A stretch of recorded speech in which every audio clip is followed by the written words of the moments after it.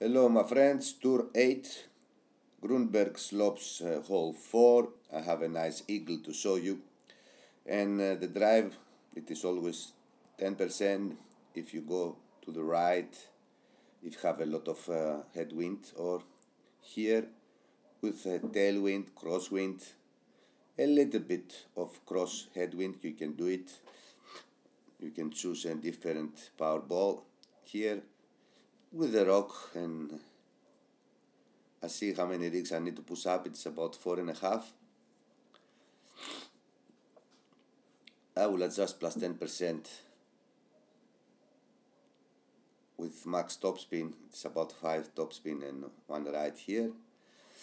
And I did a little bit of overpower with a little bit of curl. Needed about a ring of overpower. I did a little bit more. And we bounce nicely in the fairway and we roll close to the rough. Now if you stay about here, I play plus 15% the approach. If you roll with a different kind of um, drive with more topspin, down, more down in the fairway, I played plus 10 because it's more in a more lower elevation.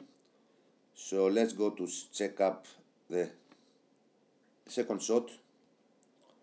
As I said, uh, if I stay there, I played plus 15% normally with a kind of cross or tailwind.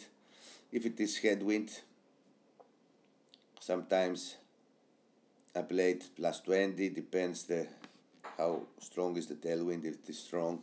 It's the, the, the headwind I played plus 25. Here plus 15 I see about 50% is there. I will adjust my spin ball guide just to the hole normally with the tailwind you better leave it a little more short with a Thor 9 and I will adjust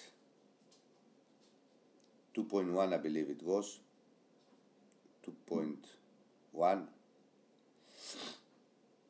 plus 15% at mid. Hit perfect and the ball dropped nicely for the eagle. So if you like the video, press the like button. Thank you very much for watching everybody and supporting the channel. Happy golfing.